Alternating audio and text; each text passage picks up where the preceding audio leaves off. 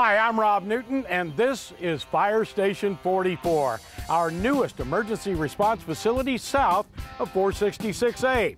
As we venture into a new area and our final phase of construction south of 466A, we are so excited for the residents. And now for a tour of the state-of-the-art facility, here's Fire Chief Mike Tucker. Thanks, Rob. The last time you were here, the station was under construction, and there wasn't a whole lot to see. But as you can tell, that's different now. We have our emergency response apparatus in place, and the reality is that most people recognize fire stations because of the bay and the equipment that's in it. But this isn't a normal bay. In addition to the emergency response apparatus and the equipment in here, this area is also a high-level high training facility.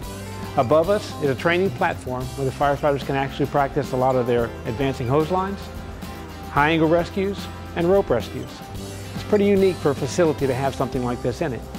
In each of the stations, we have fire suppression apparatus. Currently in the inventory, we have five fire engines, one aerial platform, which is 95 feet in length. The department responds to more than 11,000 calls annually. We also have a cardiac arrest save rate that is 43%, which is six times the national average. Needless to say, we're pretty proud of the operations and the capabilities of the department as we serve the Villages residents and those surrounding the area as well. We're currently standing in the foyer of our Emergency Operations Center.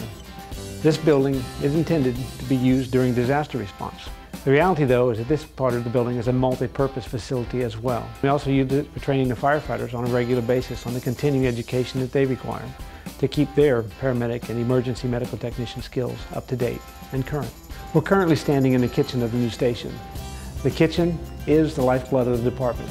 The reality is the firefighters live here 24 hours a day. It's a home away from home. They spend one third of their lives here as they're on duty for 24 hours. The department currently has 84 firefighters assigned to the various stations, operating on three shifts. In addition to the kitchen, the firefighters' home away from home does feature a day room, a sleeping area, and a fitness room as well. We build fitness rooms and use fitness equipment to try to keep the firefighters safe and healthy. Unfortunately, many firefighters suffer from cardiac-related diseases, and it's our goal to keep them physically fit which proves beneficial to the residents of the community that we serve. I hope you've enjoyed your tour and visit to the latest fire station for the Villages Public Safety Department. As you can tell, we're pretty excited about the great facility and the exciting location. We believe that it's going to serve the residents of this area tremendously.